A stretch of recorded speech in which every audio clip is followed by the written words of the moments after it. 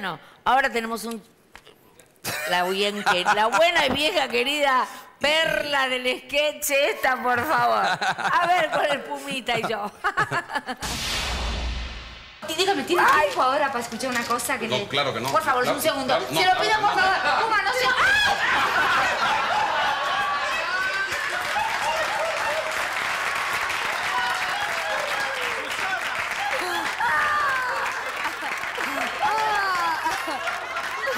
¡Ay, qué horror!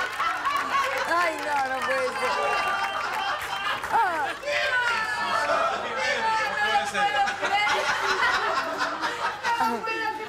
¡Ay, pobre Pumita! ¿Pero por qué? No, no puede ser la p que lo parió. ¡Ah! No tenía clip. No, eso fue. Me morí. Siempre que. Yo digo, chicos, no le vamos a mostrar otra vez esto al Puma que está, harto ya. Pero no, porque es la ternura que nos da todo caballero, que él quería taparme. Y no sabe que yo era una loca, que no me importa nada. Pero no me puse ni clip en la peluca, ¿cómo no se me va a caer?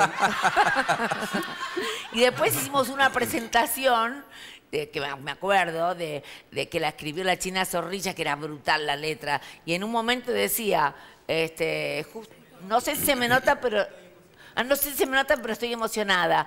Hacer un programa es una cosa complicada. Y no dejo nunca de pensar, mientras me visto, que puede siempre suceder un imprevisto. Bueno, y terminaba, la parte de él era, ¿no? No, pero no era así. Bueno, un justo con el Puma se me cae la peluca. Y, que- y que dec- y la gente era genial.